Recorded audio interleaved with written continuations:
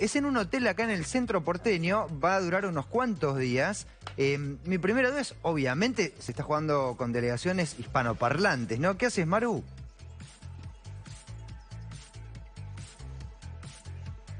Ah, Mm, claro, No no, puede obvio, hablar, obvio. están concentrados. Obvio, obvio, obvio. Silencio absoluto. Claro, mirá la cantidad de gente. ¿Me escuchan bien ahí? Impecable.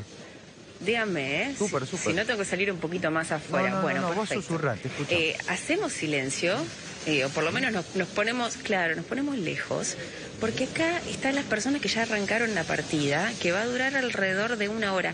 Eh, cada partida en realidad dura 30 minutos, se juega dos contra dos. Esta es la edición número 24. Van a haber gente que viene de todas partes de Latinoamérica, había alguien de Venezuela, alguien de Panamá. En un ratito cuando se cuando dejen de, de jugar, vamos, ¿saben qué? Nos van a enseñar a jugar Scrabble. Así que así aprendemos bien y ¿Cuánta sabemos gente todas hay las, ahí? la- la- las, eh, formas que tenemos.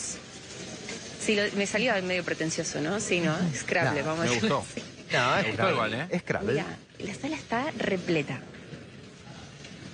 Está repleta. Eh, y la verdad que la concentración acá. eh, ¿Ustedes saben que hay 667 mil palabras? Esto es, por supuesto, sumando los verbos conjugados, ¿no?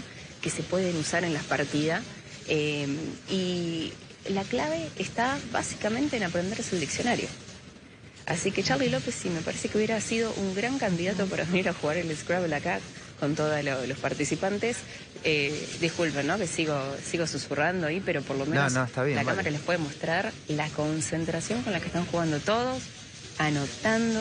Ustedes saben que tiene que tener siete fichas en el atril. Si logran, a ver, lo mejor que se puede lograr es formar la palabra con ocho letras, ¿no?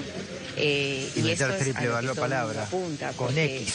eh, hay que formar triple valor y también está el comodín, pero dicen que el comodín en realidad hay que dejarlo para el momento en que se pueda hacer Scrabble.